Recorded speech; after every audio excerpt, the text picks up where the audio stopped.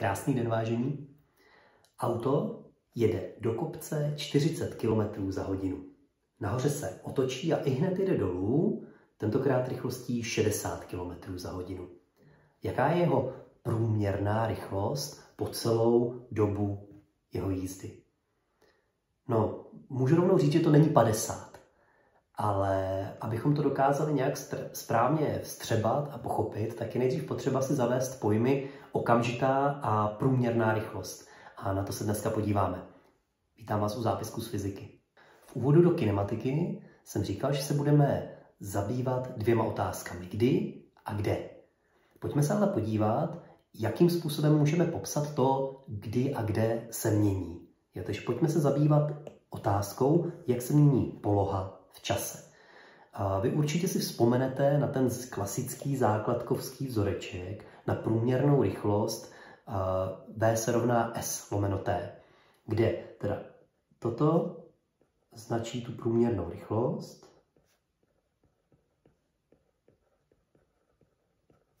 to S označuje celkovou dráhu, kterou urazíme,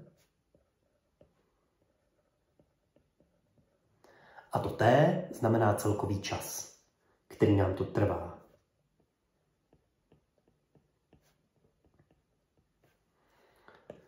Víme, že jednotkou rychlosti je, jsou metry za sekundu, že jo? Už jsem ukazoval, že to vychází vlastně z toho vzorce. Když máme S lomeno T, tak je to dráha za čas, tedy metr za sekundu.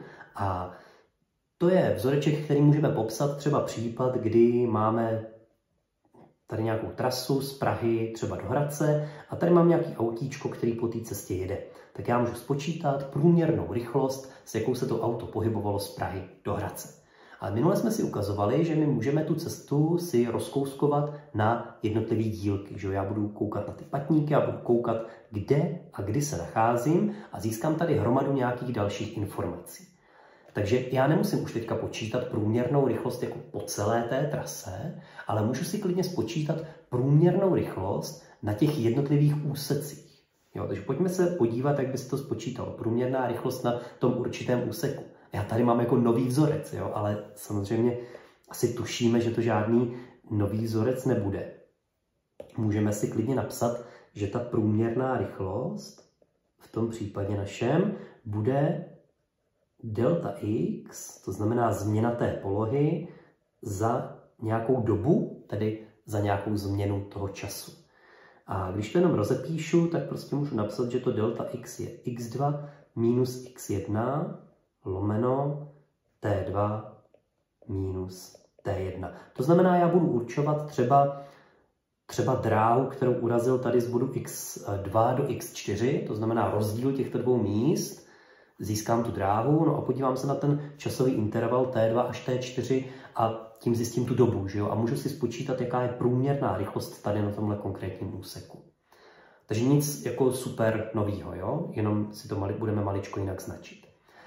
A zkusme tady na nějakém konkrétním příkladě se podívat. Já tady mám vymyšlený nějaký e, záznam pohybu auta, že jo, já se můžu dívat na ty hodinky a stopovat si to, takže vím, že na začátku v, té, v, té, v tom čase 0 jsme na startu. Jo, tady bod 0,0. Jo, budeme to zanášet do grafu. V čase 5 sekund se nacházíme na 70 km, takže to bude někde tady. Jo, tady tomu odpovídá těch 70 km, jo, nějak zhruba podle toho měřítka. Když se podíváme na čas 10 sekund, no tak vidíme, že jsme pořád na 70 metrech, takže co se tady stalo? No, no nic se tady nestalo, že to auto se vůbec nepohnulo, v tomhle místě stojí na semaforu třeba nebo tak. A ve 20 sekundách už jsme na 170 metrech, takže 170 metrů, to si dáme někde, to si dáme někde tady. A na 25 sekundách už jsme na 300 metrech, takže to by mohlo být někde tady. Tak. Takže tady mám jednotlivé body, ve kterých vím, kde to auto, kde to auto bylo. Já nevím nic o těch bodech mezi tím, jo? tam nemám žádnou informaci, takže já bych to úplně neměl teďka spojovat, protože Jak říkám, ty informace tam v té tabulce úplně nejsou, ale pro jednoduchost, pro jednoduchost si to tentokrát spojíme. Jo? Předpokládejme, že to auto jelo rovnoměrně, že jo? těch prvních pět sekund, pak to vypadá, že tady to auto stálo, že jo? nezměnila se ta jeho poloha, teď to vypadá, že se zase nějak rovnoměrně pohybovalo, řekněme, a tady se taky nějak rovnoměrně pohybovalo. Jo, není to úplně reálný popis, jo, protože tam všichni tušíme, že tam nebude jenom rovnoměrný pohyb, ale že to auto bude trošku zrychlovat, zpomalovat, jo, bude to trošku komplikovanější, ale musíme si nejdřív zavíst ten, ten jednoduchý model. Tak, teď první otázka. Poznáme z toho grafu, kdy to auto jede nejrychleji. Jo, podívejme se na ten graf a zkusme si, aniž bychom cokoliv počítali, tak zjistit, kdy to auto jede nejrychleji. My víme, že rychlost je jakou dráhu urazí za jakou dobu. No tak jako určitě tady ne, že jo? tady urazí za pět sekund, urazí nic, jo? takže tady jede nulovou, tady se nepohybuje. Že jo? Tak správná odpověď samozřejmě je, že na tomto úseku se pohybuje nejrychleji, že protože za krátkou dobu urazí velkou dráhu. Jo? Tady na tom prostředním úseku, tam za dlouhou dobu urazí krátkou dráhu, že jo, tak to je asi malá rychlost, že jo. My to samozřejmě můžeme spočítat, že jo, už na to, už na to máme vzoreček. Já teda klidně můžu spočítat i tu průměrnou rychlost, jako známe ze základky, že jo, takže ta, takže ta průměrná rychlost VP v našem případě bude teda celková dráha děleno celkovým časem, který teda to auto urazí. Takže celková dráha je 300 metrů a trvalo mu to 25 sekund, takže píšu číslo a píšu jednotku. Jo? Číslo bez jednotky nemá smysl. Jo? Tady ten vzoreček, to je v pořádku, tam jsou písmenka, jsou to ty neznámé, jsou to ty proměné, že jo, co, za co dosazují čísla, ale tady už jsou čísla. Tam musí být jednotka. Jo? Musí tam být jednotka. Tak, rovná se, rovná se 12 metrů za sekundu. Jo? Takže jeho průměrná rychlost na celé této trase odsud až sem je 12 metrů za sekundu. No ale já si to můžu rozkouskovat, že já se můžu podívat na ty jednotlivé úseky, no tak pojďme, uh, pojďme se na to mrknout. Tak, třeba v tom prvním úseku, když se podíváme, třeba ve P1, by bylo delta x1 lomeno delta t1, Tedy změnila se mě ta dráha z nuly na 70, takže bych napsal 70 minus 0, jako každý ví, že je to 70, že jo? Ale tak já to sem napíšu. 5 minus 0 metrů, metrů za sekundu. 70 děleno 5, to je 14, takže 14 metrů za sekundu je ta průměrná rychlost na tom prvním úseku.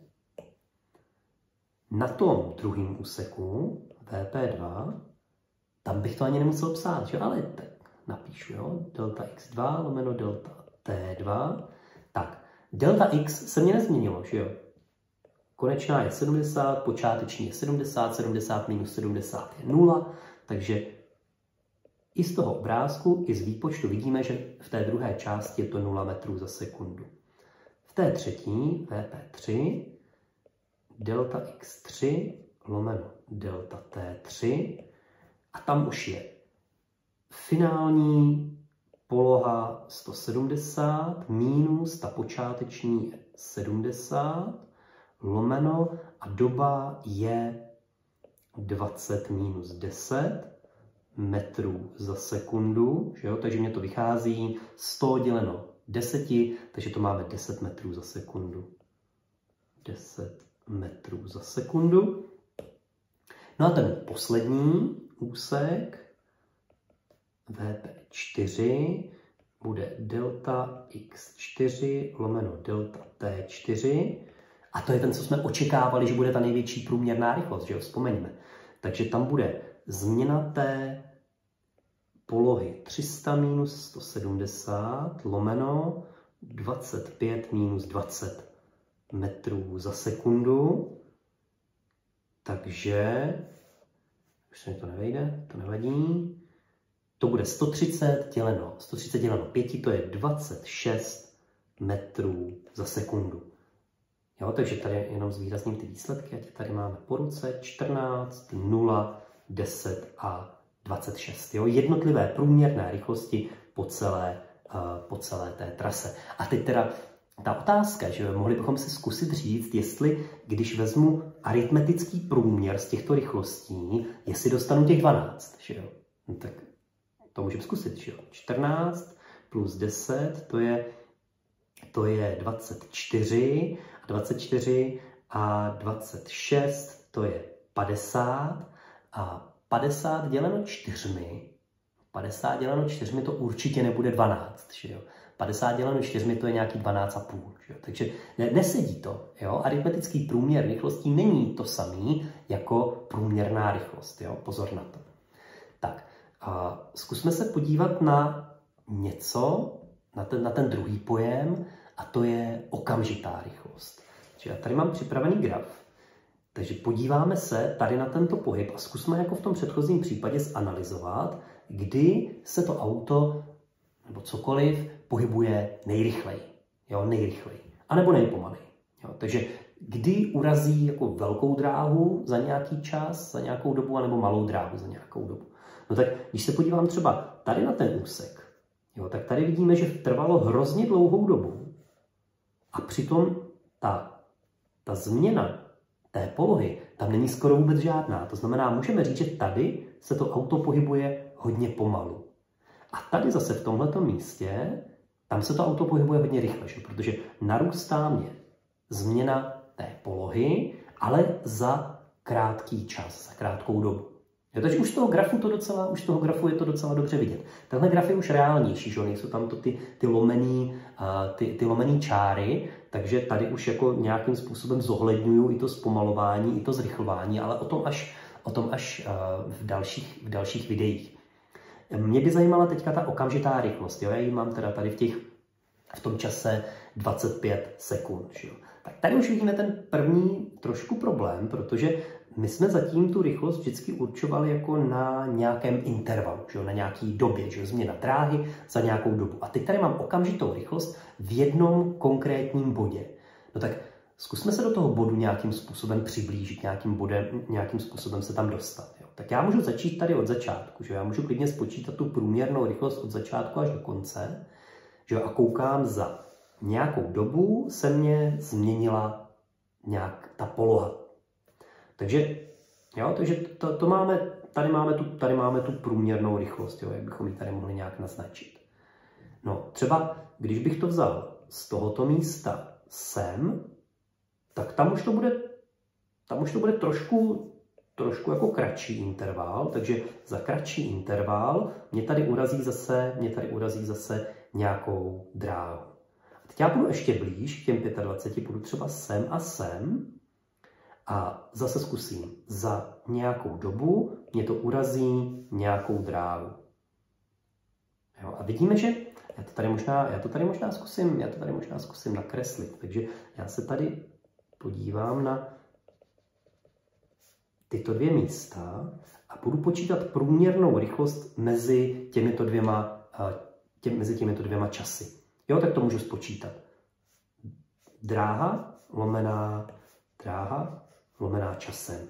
Jo, a vyjde mi nějaká průměrná rychlost.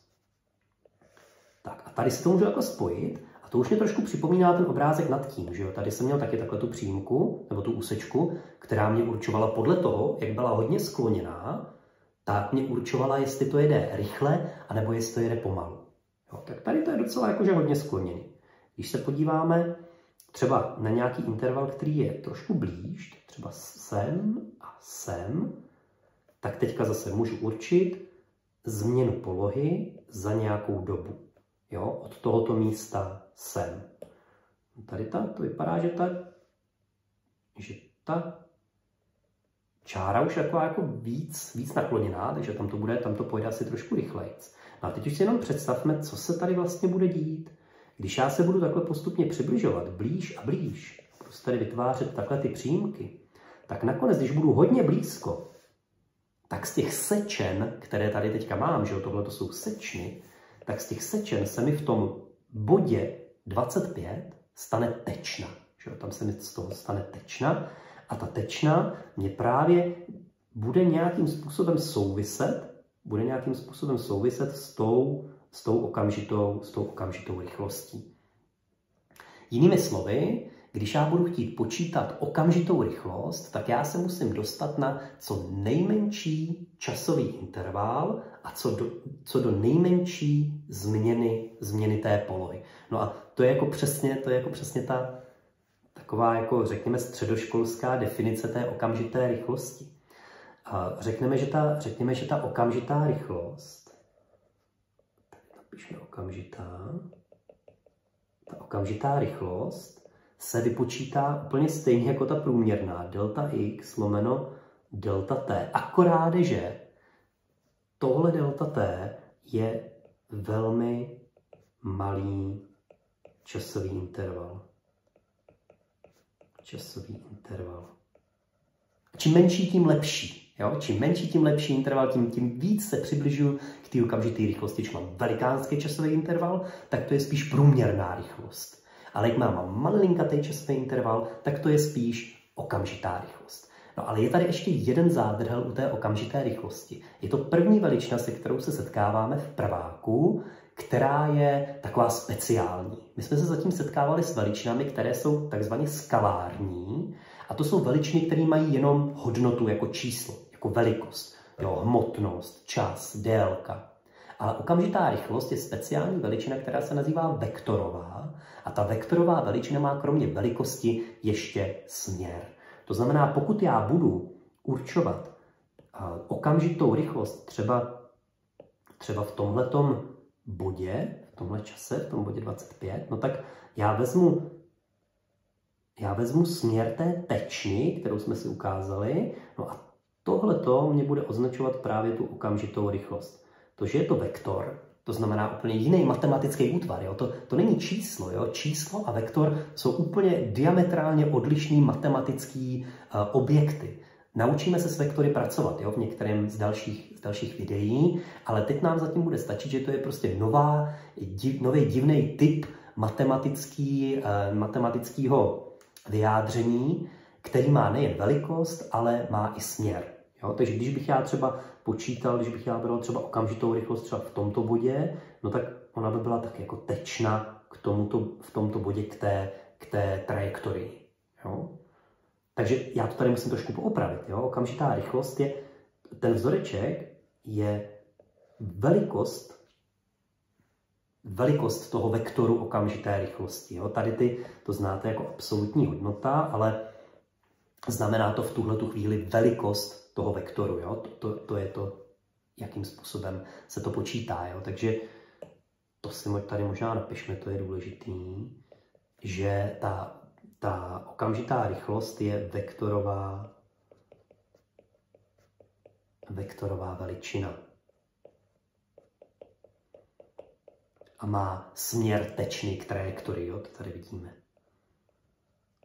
Směr tečný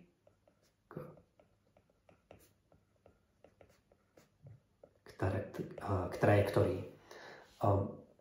Kromě, kromě, těch, kromě třeba okamžité rychlosti si můžeme vybavit, vybavit třeba sílu. Jo? Síla je typická vektorová veličina, záleží u ní nejen na velikosti té síly, ale i na směru té síly. Jo, budeme se o tom bavit v dynamice. Mám tady teda další nějaký příklady, jenom tady si to teda schrníme.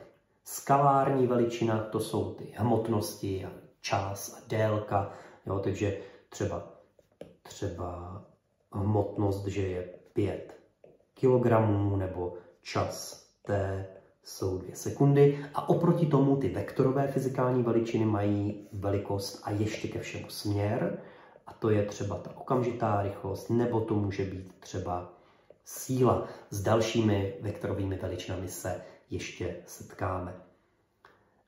Když budeme mluvit o velikosti těchto vektorů, tak to budeme psát bez té šipky. Jo? Zatím můžeme klidně psát, že třeba rychlost je 5 metrů za sekundu, ale úplně správně bychom měli psát, že velikost vektoru té rychlosti je 5 metrů za sekundu. O vektorech pořádně se budete bavit ve třetíku, jo, takže to, vše, to se všechno ještě objasní dál. V další části si zkusíme spočítat několik příkladů a rozlouskneme teda ten problém s tím autem, který jede nahoru 40 km za hodinu a dolů jede 60 km za hodinu, tak jaká je teda vlastně ta jeho průměrná rychlost. Tak se mějte krásně, budu se těšit příště.